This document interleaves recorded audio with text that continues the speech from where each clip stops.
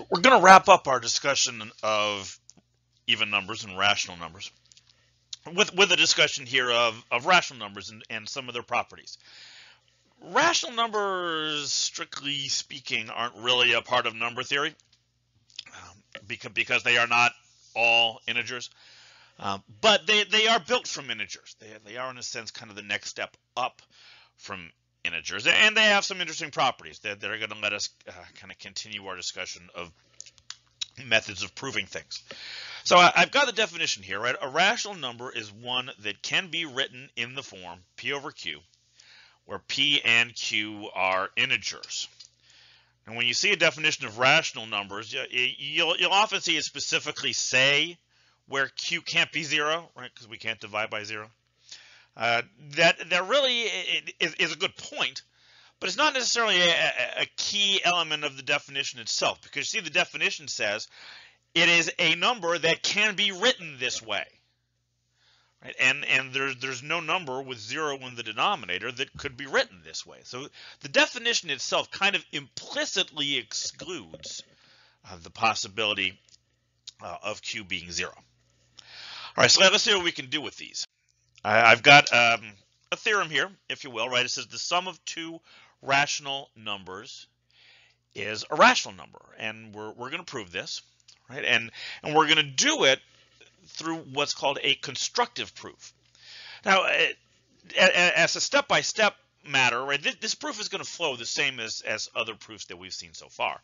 Um, what makes it constructive is that in the end, we are going to actually have a formula that tells us what the sum is. Right? So we, we are going to construct the sum as part of the process here. So um, we're, this is going to be follow a very similar pattern to what we've talked about with odd and even numbers. Right? We're going to start by saying let uh, what what variable? Let's just use x and y. Right? So let x and y be rational numbers. Now I'm going to apply the definition. Right, the definition says because they are rational, there exist integers, and I'm, I'm going to need four of them, right? Because I got two numerators and two denominators.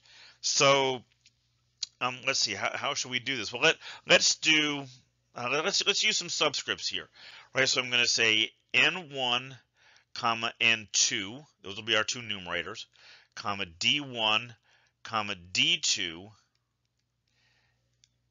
uh, yeah, integers, such that x equals the first numerator n1 divided by the second, the first denominator, and y equals n2 divided by d2. Now, of course, I, I, I didn't say it. You're going to see me do this throughout some of our conversation here. Um, obviously, d1 and d2 can't be zero, right? Because we can't divide by zero. But there's really no need to make that point right? Because we know that x and y are numbers, uh, d1 and d2 can't possibly be zero, right? Or, or they would result in this being undefined. All right, so now the question asks about the sum, right? So let, let's look at the sum. x plus y equals what? Well, it equals n1 over d1 plus n2 over d2. And, and now I need to add these together.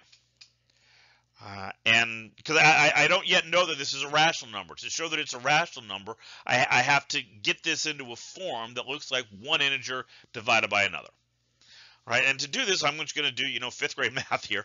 Uh, I'm going to find, I'm going to do a common denominator. I'm going to multiply the first one by d2 over d2. So this will be n1 d2 over d1 d2 plus, and then I'll do the same thing over here on the other side. This is N2 D1 over D1 D2. And now I can add them together, right? This is N1 D2 plus N2 D1 over D1 D2. Uh, and, and there you go, right? This, this N1 d2 plus n2 d1. That's an integer. And d1 d2 is an integer. Right? And, and at this point, I, I do need to point out right? That that denominator is in fact not equal to zero, right? We, we do know that because D1 is not zero and D2 is not zero. So we also know that this product is not equal to zero. Therefore, x plus y is the ratio of two integers, which means, by the definition here, right, which means it's a rational number. And that's what we needed to show, right? And you, you see how we, we did get on, on this step right here, we did get that formula. We, we, we actually built or constructed the sum of these two numbers, right? So there's our proof. All right, so uh, the proofs we've looked at so far have, have been have been positive in a sense. We've shown that something is always true. Uh, but you know, sometimes we disprove things, right? Some, sometimes we want to prove that that something is in fact not always true. Uh, and that's what we've got here, right? This this this statement is not really a theorem because it's false, but it, it says the ratio of two integers is a rational number, and th this is not true.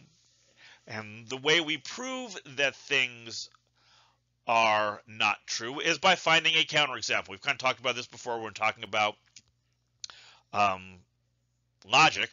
All I need is one counterexample, one bad apple to make this entire statement false, right? And and to see this, right, take the numerator, uh, let's call it n, right, for numerator.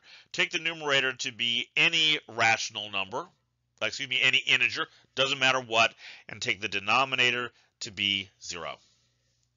The ratio of these two, n divided by d, is not a rational number. The, the symbol for that is, is this q, right, with, uh, with a little bar on the, uh, on the left side. Um, there is no number that can be written in that form. Therefore, that number is not a rational number. So, and, and that disproves the, the the statement here, right? Because all it takes is, you know, that one bad apple.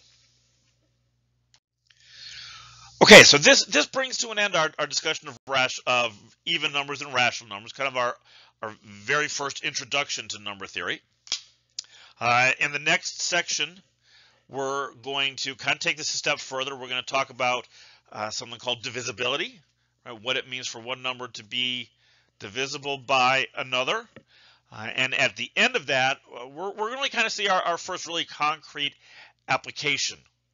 We're, we're going to see an algorithm for finding the greatest common divisor of two numbers uh, that is much better, much more efficient than the method you learned uh, for doing that, again, probably um, all the way back in the fifth grade.